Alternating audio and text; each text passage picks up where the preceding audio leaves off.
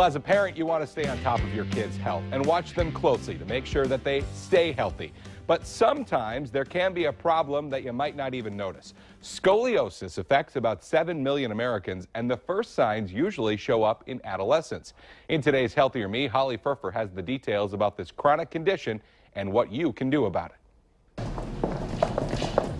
Scoliosis is a lateral curvature in the spine. It's not a disease, but rather a condition in which the spine continues to curve abnormally over time. Although doctors don't know the exact cause of most cases, they believe there is a genetic component to the condition.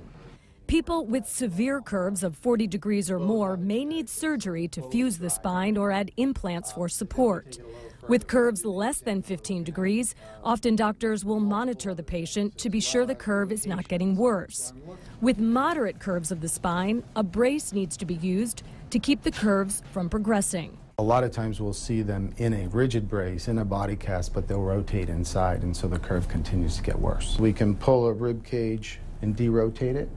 We can create a detorsion by pulling a shoulder back, so we can pull a rib cage forward, shoulder back, we can pull it down. We can shift the spine from right to left or left to right. There's no cure for scoliosis, but doctors say once the spine is finished growing, a brace is no longer needed. For today's Health Minute, I'm Holly Firfer. Now, if you'd like more information about scoliosis, you can go to the Foundation's website, scoliosis.org. We do have a link to it at valleynewslive.com.